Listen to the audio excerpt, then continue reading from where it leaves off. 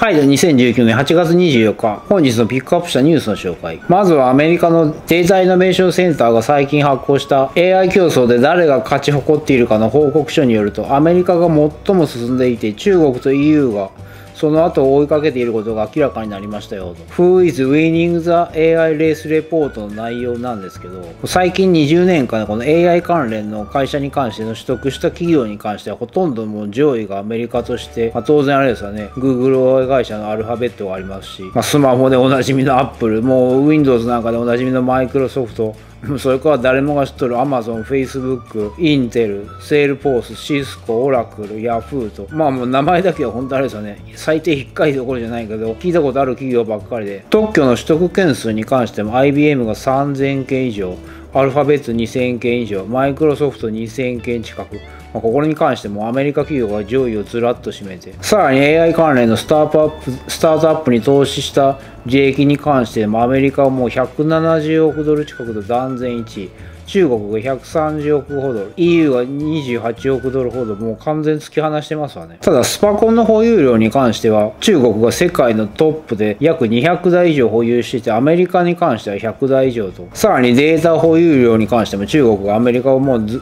ずば抜いて抜いていて、去年簡単決済を利用した履歴に関しては中国が約5億以上、人口の4割強ほどですね。で同じ期間のアメリカとしては5500万人が利用してこれはアメリカ人口の20%相当。確かにあれだよな中国はそのお国柄の情勢でキャッシュレスの方向へ移行せざるを得んっていうところはだからそこら辺がイノベーションに拍車かかったとこもあるでしょうね。ここら辺はでもやっぱあの人口密度の割合って言ったら、ね、あの逃げ道になるけどそれでもなアメリカ中国が当然多いのもあるしその先駆者っていうのもあるでしょうね。やっぱ先駆けっていうところが。中国のでも逆転現象はここら辺は十分起こりうるでしょうね。なんでここら辺全然バイドゥとかテンセントとかアリバダとかもその他諸々のところが入ってないですし顔に認証とか本当自動運転関連とかごぼってるけど、まあ確かに自動運転関連 Google は強いの分かりますウェイモがおるのは分かりますけど、逆転現象はこれは結構出てくるんじゃないかなとかですね。まあ単純なサクッとしたデータの紹介でしたというところで。はい、ということで次。まあこちらもデータ関連の紹介なんですけど、非常に興味があったよなというのが、韓国では医療機関で使用する使い捨てのおむつが産業廃棄物の一般ゴミと一緒に処理される審査が進行中ですよ。この6月に立法予告した法案が施行していくと、医療か医療機関から排出した非感染者の患者の使い捨ておむつに関しては事業一般廃棄物に分類して一般焼却で運搬処理されていくんですね。で改正案で関すると感染症の患者や感染症が疑われる患者に関しては既存の通り医療廃棄物に分類していきますよと。特にこの医療廃棄物に関しては最終的な焼却処分していくまでの保管処理なんかに関して一般廃棄物は重量性に含まれる一定通常のゴミと処理される一方、医療廃棄物なんかでは、この経路なんかの追跡ができるが、一般廃棄物は難しいとして、特にここら辺が施行されててすごい懸念されてるのが、やっぱり医療現場での使い捨ておむつの感染を正確に判別というのは難しいんですよ。そりゃそうだな、そう思いますよ。これは韓国だけではないと思いますけど、要は患者が使用したおむつなんかに感染して、この感染症が疑われるところとか、病原体の保有者なんかの判別とかシステムや人材、その他含めたところを備えてるってことが多くないですよね。多くないというか少ないでしょうね、こんなとこ。この最近で言うと、この医療廃棄物の中間処理業者なんかで感染する使い捨てのおむつなんかでも分析した結果約105ほどの病院の中から97の病院ではこのおむつで感染症を引き起こす可能性がある細菌が検出されたんですって。ほぼほぼ100に近いですもんね。特にこれおむつなんかであるとこの細菌が10日以上生存できるとして要はそれだけによって危険性があるからもう一回検討する必要があるってことですよね。生きちゃうってことですよね。生きてほしくないんだけど。さらにこの国内の、まあ、おむつなんかを使う施設なんかの病院院関連に関して500ほどで感染症と診断されていない入院患者が排出したこの使い捨ておむつに関して調査した結果約6%ほどから感染症の菌が検出されたんですってだから全くゼロではないってことで完全に分別できてないってことですよ。そりゃそうだな。これ攻めれんわな。難しいもんな。さらにこの韓国内での医療廃棄物の発生量に関しては年々3から8%ずつほど増加して2017年は約20万トン強ほどでこの韓国全国内としての医療廃棄物の焼却場の100%稼働した時の処理可能量が20万6640トンなんです。だからほぼキャパに近いところで。それによってこの改正案が施行していくと要は全体の医療廃棄物の約15%ほどの使いおむつ手が一般廃棄物に分類されていくのではと予想されていますよと。これは韓国だけじゃななくて全世界そうでしょうね。やっぱ高齢者がどんどん増えていくと特にあれですよね。経済的に豊かとか技術的に進んでる国はその傾向があります。日本だって当然あれですもんね。これ対岸の火事じゃないから。国が小さいとこなんか埋め立てるとかその最終処分に関しての処理にも困難になるところがあるし減るってことはないですもんね。だからここら辺の本当分別とかに関しても AI じゃないけどそういうあれだもんな最新技術のシステムが必要ってこそね。うちのおばあが言っとるところでもそういう最終処分の参拝業者利用してまあ私が前掘った会社の近くの方の最終処分の方へ持ってっとるんですけどコスト面とかその要は施設の人の管理とか考えると紙おむつ利用した方が早いもんな。いろんなとこ含めてあの全部が全部言葉では言わんですけど。一般廃棄物では捨てたいんだけど菌とかの問題とかそれを完璧に分別できとるかどうかっていうところ。そこら辺のところがあれですね。課題になっとるってことだね。かといってその病院側とかで消毒までのレベル分別レベルまでにコストや人件費それから人から施設の設備から対応できるかって言われるとそれがノーだから現状になっとるわけでこれは韓国でもそうなんだな一緒なんだな。これは非常に細かい数字とか知れてよかったですね。ほぼキャパオーバーだからこういうふうに、まあ、処分の方を改正したいってことですよね。でもこんだけまた金が排出されるってことはだめだな一概にこれを施行したいとは言えんもんな。そんな細菌がおむつによって10日以上生存できるって非常にあれだもんな。細菌にとってはいい環境なんだもんな。生きれるんだもんな。ガードになっとんだもんな。それ家みたいなもんだもんな。ハイプラとかのゴミと一緒でまたここら辺も本当難しいですね。全部が全部また追跡していくとどうかそこら辺のコストってのもありますし。ブロックチェーンだけのどうのこうのとこじゃないね、ここら辺はね、ほんと課題ですよね。でもこれ、ほんと数字面とかいろんな内情勢とかに関して、ほんと知れてよかったよな。まあ、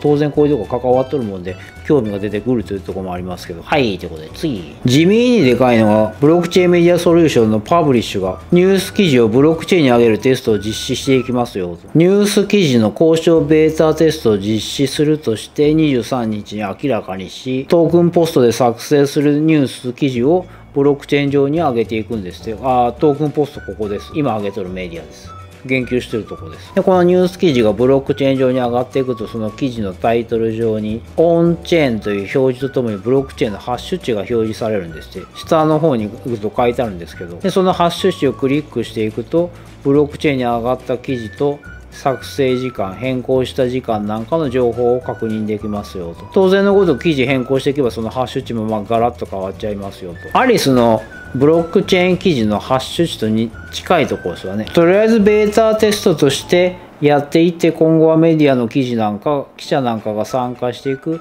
記事ファクトチェックシステムを導入する予定ですよと。さらにこのファクトチェックを通して記事の信頼度なんか高いと判断していくと記事の作成者や報道機関さらにはこのファクトチェックに参加した信頼性に応じた評価なんかによって仮想通貨報酬を得られますよと。まあそうなってくわな、だんだんな。メディアもこんな感じになってくでしょうね。本当にこれ前々から言っとる通りに、日本のメディアなんかもこんな感じになってくるでしょうね。あれだもんね、文集とかもこんな風にし合いもんね、誰が書いたのかね、写真でもどこで撮ったのかね、あれね、全部そういう風にし合いよね。いや、本当に。あの、意地悪で言っとるとかじゃなくて。そしたらあれだもんな、めんどくせえ記事とか上がらんでいいもんな。関わる時間とか無駄になってくるもんな。もう全く本当韓国関連のニュースでこれ、世には出てないと思いますけど、私的にはでかいと思います将来的には本当ロイターとかブルームバーグとか、ワシントンポストとか、まあ、まあ、ありとあらゆる本当世界的なメディアがそれこそ日系とか日本だとそうですし。手間とコストは当然かかりますけどだんだんこんな感じになっていくんじゃないですかね。まあそれから進んでくると動画とかそんなところにもだんだん広がっていくんじゃないかなってとこで。非常に非常に非常にもう何遍か繰り返すぐらい私はこれかなりでかいと思ってます。とともに絶対普及していくだろうなってとこで。はいじゃあ次。まあここら辺はサクッとカカオグランド X ブロックチェーンクレイトン絡みということでファンハンファの系列会社のハンファシステムがクレイトンのガバナンスカウンシルに参加しますよ。と。ガバナンスカウンシルはクレイトンの合意ノード、コンセンサスノードの運営を担当していて、現在公開されているガバナンスカウンシルの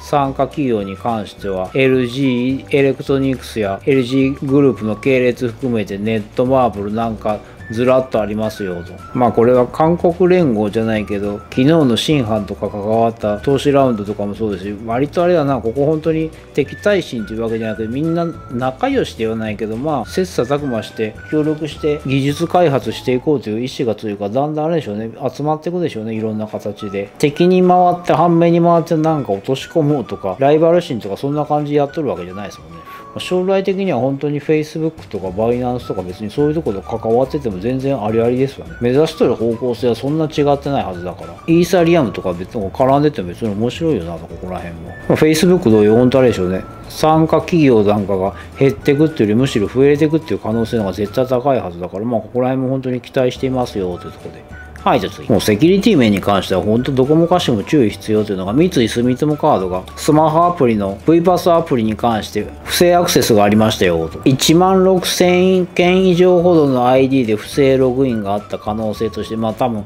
可能性というかあったんでしょうね。一応はクレジット番号漏洩なんかに関しての被害はないけど、氏名や両明細なんかに関しては閲覧されたのではと。8月19日の検査で発覚したってことで、ここら辺はどんな感じだったんでしょうね。一応応不正ログインがあった ID なんかの関してはパスワード無効にして顧客にも連絡しましたよというところで。閲覧だけでとどまっとるのかどうのかですねここら辺のとこに関しては。もう本当に自分の使っとるサービスとか例えばこの場合で言うとクレカとかそこら辺が絶対的な存在って信用しない方がいいですよね。本当に毎日毎日いろんな分野でこうやって、まあ、日本だと不正ログインっていうけどハックも一緒のようなもんだから。何らかの業種でこうやって起こっとるわけだから否定できんすわね本当に。いろんなサービスに関しては。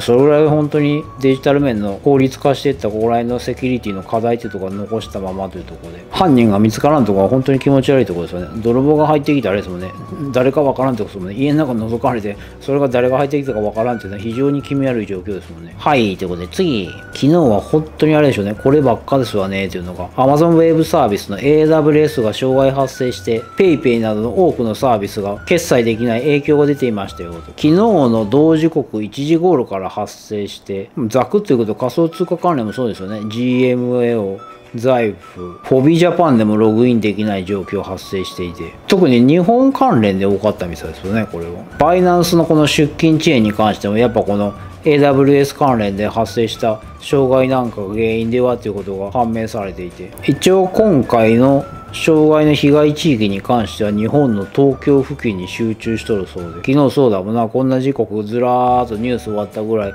ダーってこればっか出てましたもんね。一応現在は回復していて PayPay などに関しても利用できる状態になってまあ完全復旧が確認でき次第改めてお知らせしますよということで。ここら辺はあれですよね。日にち薬じゃないけどその後の情報確認ってことですかね。デジタル化の本当あれですね。一極集中じゃないけど意外に脆さを見せましたね。ここら辺に関しては。珍しいな。んだけどまあ天下のアマゾンについてもなかなかそれはあるわなというところで。とりあえず単純なレースはね障害だけで終わってその外部的なハックとかセキュリティ面の課題を残したというところじゃないからまだな多少はレースはね。ホットではないけどまあ泥棒じゃなかったなというところでまあ口悪い言い方しますと。はいということで次。これによって今後の熱中症なんかに対策に関しても非常にシビアになっていくだろうなというのが去年愛知県豊田市で小学生が亡く熱中症で亡くなった事故に関して学校サイドに注意義務違反として遺族に損害賠償金を支払っていましたよ金額に関しては公表はされていませんとのことでこれやっぱその何遺族側を擁護するとか学校側を責めるとかじゃないけど昔と完全にあれですもんね。その暑さの対する認識が変わってますもんね。昔みたいにその何水を我慢するとかエアエアコンをつけちゃダメとか扇風機で行くとかそういうレベルで過ごせるとかっていうところじゃないですもんね。本当にこうやって生死に関わってくるところだから。実際に高齢者だってこのエアコンをつけてなかったとかっていうケースで毎年熱中症で亡くなっとる例はまあ最低1件は出てるはずだから。飲酒運転ではないけどそこに近いところのレベルですもんね。要はエアコンつけるのを義務化させざるを得んっていう状況ですもんね。だってこれ熱中症のほとんどのケース要は屋外なんかで冷房設備のないところで何らかの作業をしとった、まもしくはこの場合で言うと学校なんかで授業の一環でやっとった、まあ、仕事で何らかしとった。そのケースが大半ですもんね。要はエアコンついとる部屋とかエアコンついとる環境ならなんとか守れた、まあ、最悪の事態は逃れたというケースだから、もう本当にあれ何クラファンとかで出てるの私が欲しいって言ってるわけじゃないけどエアコンを何も持ち運びじゃないけどそれは必須になりますもんね。車だって大体運転しとってそのエアコンだけで完璧にその冷え切るサラサラ汗書かないよイエーイみたいな感じになるわけだ。特に今の温度が少ないわけだから室内におったらあれですもんね。温度調整によっては暑いって感じるわけだから扇風機だけじゃ過ごせんってとこを認識で再度あれですよね。エアコンの強制化ではないけど建物乗り物公共施設とかのそこら辺のその電気代ケチとかどうのこうの問題ないですもんねここら辺まで来ると。認識が完全に変わってっちゃうでしょうね。つけてないとダメっていうところで。エアコンがついてないのがもう黄色信号じゃなくて本当赤信号渡るなみたいな感じですもんね。これも周知徹底法律で義務化とかちょっと面倒くさいことに多分なってくでしょうね。まあでもそういう問題だもんな本当にこれは。実際に生死に関わっとるわけだから。はい。ということで次。ICO どうのこういうこのコインチェックの IO じゃないけどやっぱ投資環境は各国残したいだろうなというのが。韓国プサンのブロックチェーン規制自由特区の今後計画について ICU を可能にする事業を政府に提案する方針ですよと。少なくとも今年中には行っていきたいってことで。一応は来年にでもこのスタートアップがプサンのブロックチェーン規制自由トークで ICO して事業運営できるようにっていう計画をしとるそうですけど。なかなか難しいだな韓国はな。というよりもあの口の悪い言い方しますけど時代が遅れてきた ICO とか IO とか、ね、別に何らか他の形の資金調達方法別に法律の網を抜けるわけじゃないけどそっちで行った方がいいんじゃないかなと思いますわね。要はこれどっちかいうとブロックチェーン関連って ICO がしたいというよりこの新しく仮想通貨とかブロックチェーンとか生まれて技術としてそこら辺がまだまだ何対策されてなくて法の抜け穴になって。結果的にその ICO というものがまあ生まれてきて何らかの資金調達方法。まああれですよね。IPO の延長線上ですもんね。で資金調達ができるもんでじゃああれだもんね。簡単に集めれるしスタートアップとかじゃないけどベンチャーとか割と事業参戦しやすいしまあこけ取るのが多いって言われりゃ多いですけどとりあえずは道があるもんでやってみれるよなーっていうとこの期待のチャンスを残しとるわけだから他の方法では別にいいですわね。無理に ICO にこだわらんでもと思います。わざわざなんか規制しとってこの特に韓国でもそうですけど全く何手を緩める気がない。国際送金も一緒でその分野に固執より他の抜け道を探した方が早いんじゃないかな。要は自分たちの計画した技術とか開発とかそこら辺の提案面に関して事業計画できればいい。さらに言うとその資金面の調達が用意であればあるほどラッキーやりやすいよっていうとこだから。そんなにこだわらんでもいいんじゃね？えってとこありますわね。そう国ごとの規制面の壁を越えるとかその瞬間とか先とか逆に跳ね返されるとかそういう未来が見たいっていうジキルとハイド君の自分はいますけど、まあそんなにこだわらんでもいいんじゃないかなと思います。あのコインチェックの IEO とかと一緒で。まあこれはもう時代の流れじゃないけど、だんだんあれですもんね。何らかの資金調達方法は、あの人間やっぱあれだな、悪知恵ってことないけど、抜け道は考えていくはずから、また来年あれですよね。このアイナンチャラっていうのが多分出てくるはずだから、これは。堂々巡りだと思いますんで。ただ期待はしてますよ、やっぱり。それは正面突破でいける方は、それはそれは最高ですから。はい、ということで、次、これ動画とかも見ましたけど、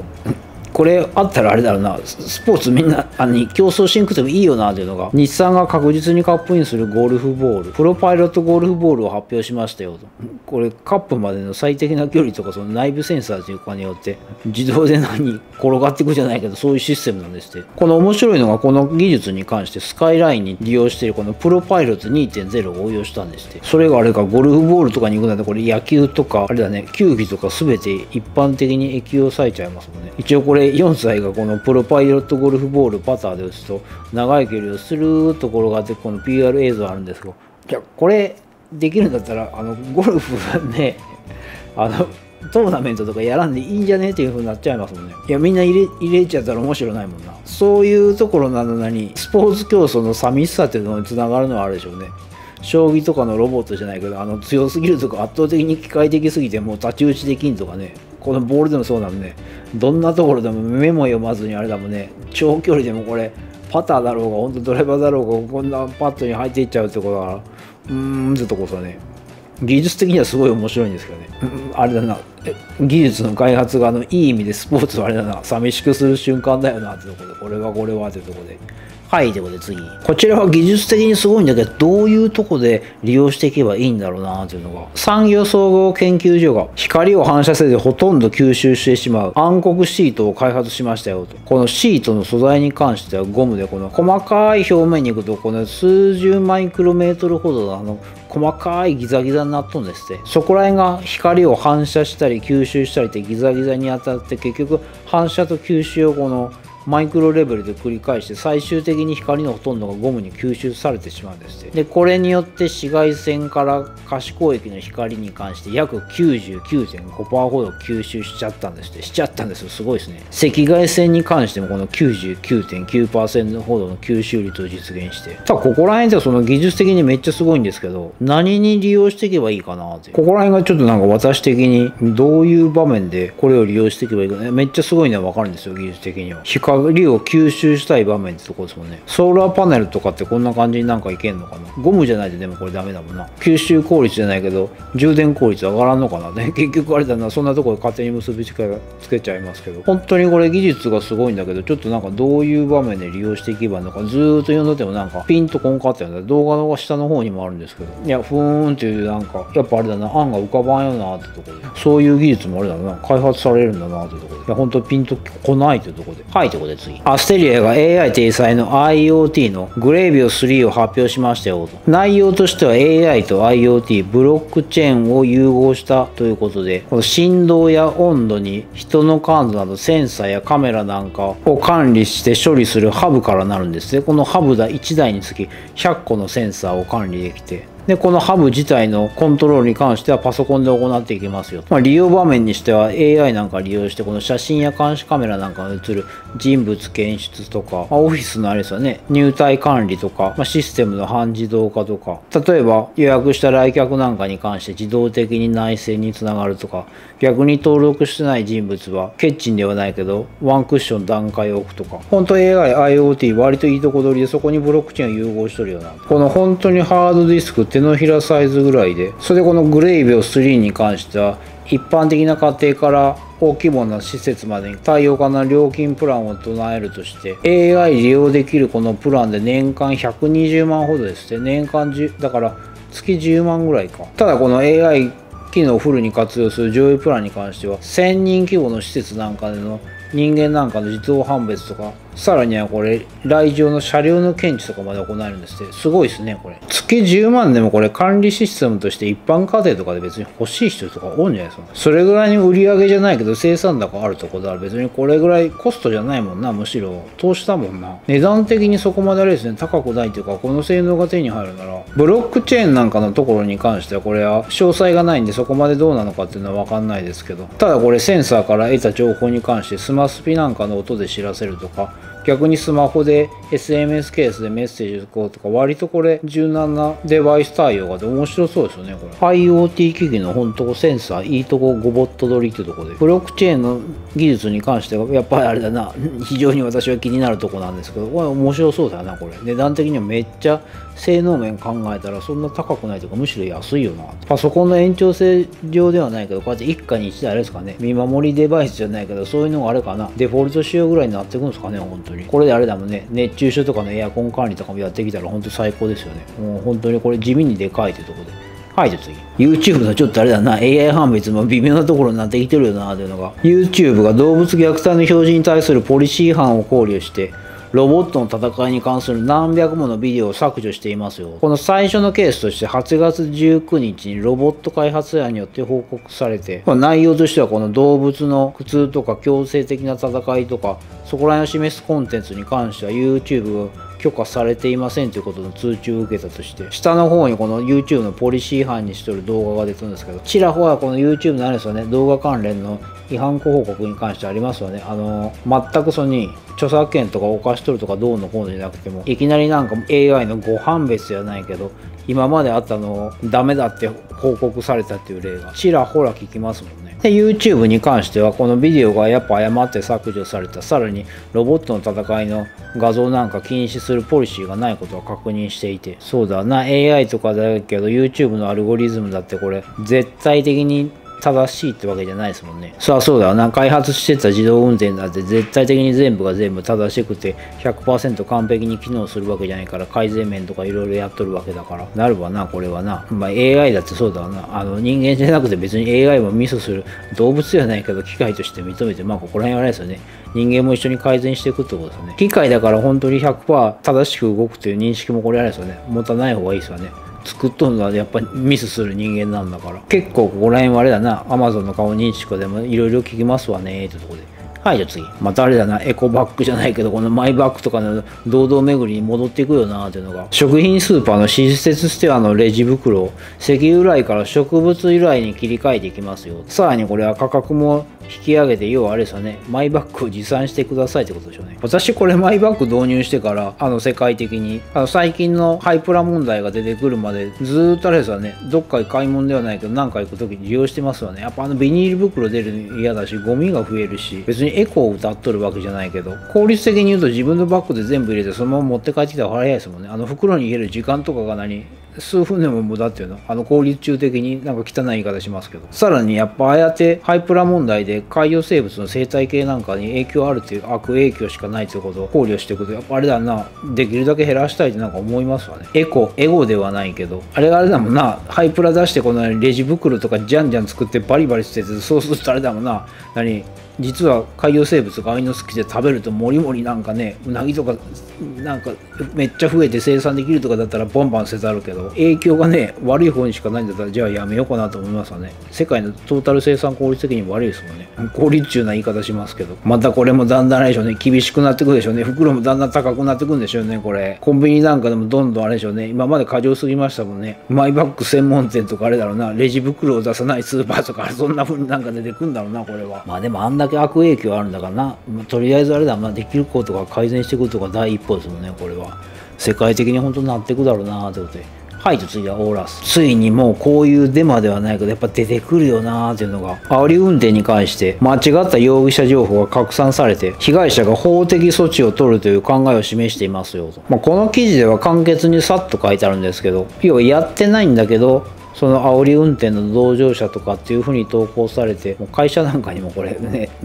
恐ろしい件数の電話なんか来てこれ精神的相談やられるわな自分がやっとるわけじゃないもんな。最近あった煽り運転なんかの投稿サイトが割と有名になって役に立っとるっていうのもありましたし痴漢関連のもありましたけど一番怖いですよね。その真意じゃない情報が流れてこうやって被害者にさせられてしまう。もうこんだけ本当あれですよね。でかすぎるわなここまでされたらな。ご投稿というレベルじゃないですもんねこれは。あれだもんな昔で言うと本当に万引きしてないのにお前万引きしたらで捕まえられたとかそんな感じですもんね。いや別に私がやられたわけじゃないですよ。例えとして。だから何でもかんでも要は煽り運転だったとか言って投稿してても実はその車が一つ前になったとか違っとったとかっていうケースもそれは人間だからミスするからあれだろうな。意図的にやっとる場合じゃなくてもその出てくるケースがあるからそういう時にこんな風になっていくのが非常にあれですよね。問題ですわね。ここら辺なんかでもだからリツイートしたかどうとかその拡散した人、まあ、リツイートも関連しますけどそういうとこの法的面とかっていうのはまだまだ整備されてないところから想像もしない影響っていうのがあるでしょうねこれは。知らんかったじゃちょっと済まされんっていう状況に。どの経緯でそんな風にぐるっと違うところへ行ったっていうのはそこら辺のとこのシーンは定かではないですけどこれがあれだわなそのデジタル化して情報なんかを要は煽り運転なんかドラレコとか今で言うとツイッターとか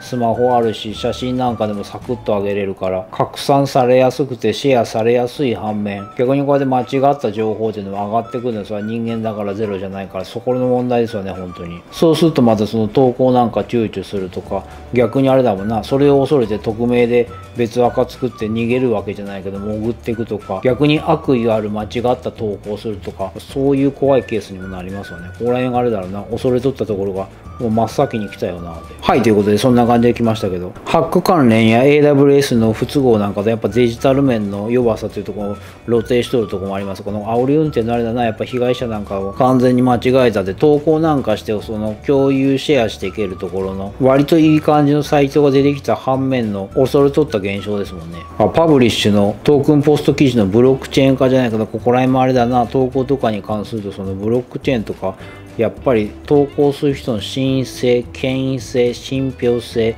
信頼性、まあ言葉は一緒ですけど、そういうところが求められるようなシステムを構築しつつあるっていうとこになってくでしょうね。あの熱中症対策にもうエアコンを強制化とかではないけど、こういうある運転とかマイナス被害に関するところの投稿に関しても、その投稿者を非常にシビアに選別させるシステムっていうところがだんだんあれでしょうね、なってくでしょうね、これはね。恐れとったところがあっさり早くポコーンときましたというところで。まあ環境面で言えばハイプラ関連なんかもどんどんあれですよね、レジ袋とか緩やかな影響で、だって大外物をどうやって作っていくのかの課題もありますし、韓国なんかでは一応は一般配廃棄物と医療廃棄物の紙用物に関する病原体の感染とかっていう問題もありますからあれは韓国だけじゃなくて日本だって当然でしょうね。むしろ先進国って言ったらおこがましいけど金持っとる国で方が特に高齢者になってきて長生きする可能性が高いからやっぱ日本もあるでしょうね。影響はかなりでかいでしょうね。特に小さくて最終処分なんかに関するところの問題もかなりでかいです。そりゃそうだな。福島の問題だってあるんだもんな。そんなところやっぱあれでしょうね。IoTAI 融合したブロックチェーンセンサーとかあのスカイランなんかの技術を利用したあの勝手に入ってくゴルフボール開発とかじゃないけど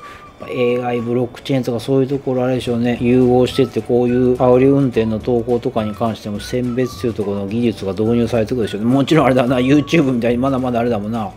AI 選別がまあ非常にあれだもんな。信用ならんとまで言わんけど誤操作が多いっていうところ、まあ、そういう課題も残しますけど技術的にその開発は楽しい反面やっぱここら辺のあれだな折り運転の被害者間違いとか投稿とかに関するここら辺はあれだな熱中症の対策とか一緒で本当非常にシビアな問題でしょうね。あるんじゃねえかと危惧しとったのが本当にあっさり来てしまいましたというところでこれは私もなんか別にその政府じゃなくて改革推進運動してるわけじゃない、まあ、課題としてあれですね。いろいろなんか案も考えたいですね。身近なところであれですね。手を起こして本当実行したいよなってところで。はいということでそんな感じで以上2019年8月24日本日のピックアップしたニュースの紹介でした。そんな感じで終わり。